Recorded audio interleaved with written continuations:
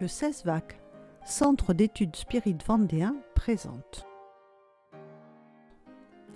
La petite vigne. Spiritisme pour la jeunesse. Épisode numéro 5. La création, qu'est-ce que c'est? Je ne suis pas sûre de savoir exactement, mais moi aussi, je fais partie de la création.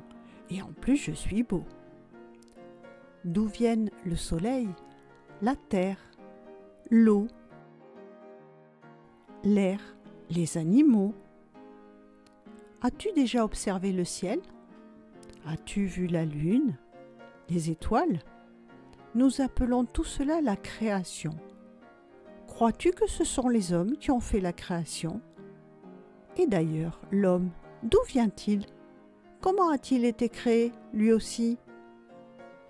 Beaucoup d'entre nous ici appelons Dieu, cette puissance d'amour suprême, cause première de toute chose. Dieu a créé tout ce qui existe dans la nature et dans l'univers, même nous.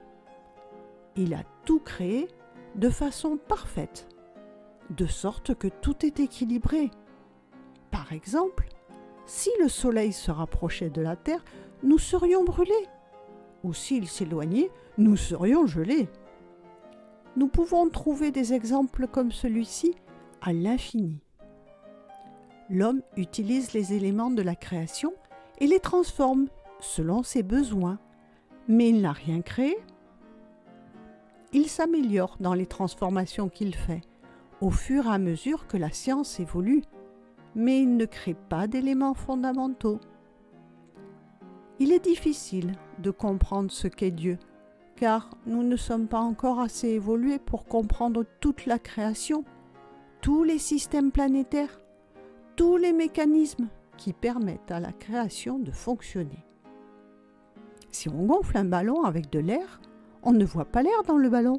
Et pourtant, l'air existe, et bien dans le ballon. Il en va de même avec le sucre fondu dans le café. Pour Dieu, c'est un peu pareil. Comme l'air, ces fluides remplissent l'univers. C'est pour cela que l'on dit que Dieu est partout. Nous ne le voyons pas, mais il se manifeste dans toute sa création. Voltaire, qui est un poète, dramaturge, écrivain et philosophe, disait L'univers m'embarrasse, et je ne puis songer que cette horloge existe et n'est point d'horloger.